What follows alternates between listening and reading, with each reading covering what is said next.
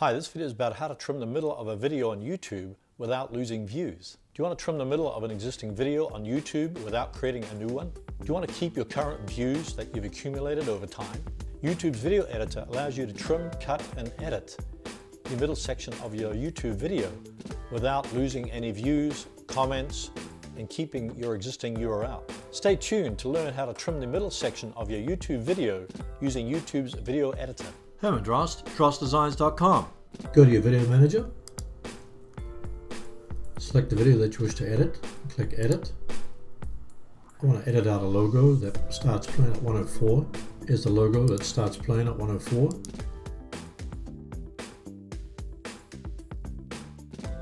Ends at about 113. So to trim out that section, I just click on enhancements click trim. Now you'll be inside the YouTube video editor. Now move the scrubber up to 104. Click split. Then I want to I want to move the scrubber up to about 113. Click split again. And click the X to delete that middle section. Click done to confirm the changes. Let's check if that section has been cut out. Going up to 104.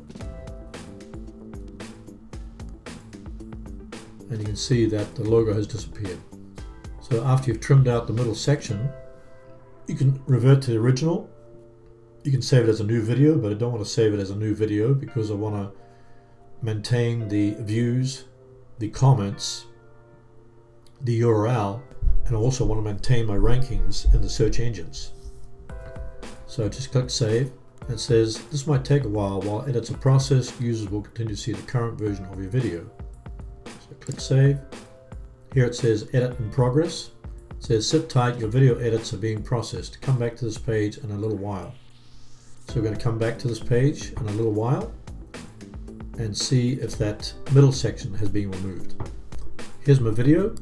If we go up to the 104 mark, you can see that the logo section has been cut out. Now I can go into my info and settings. I can also create a new title. Lead Center review how to generate leads directly from Facebook. And click Save Changes.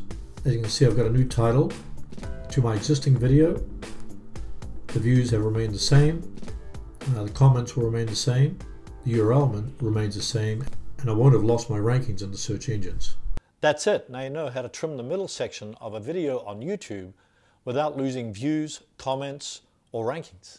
Click this image to download my free report, YouTube Editing Secrets. Learn the shortcut to video editing on YouTube that doesn't require expensive software.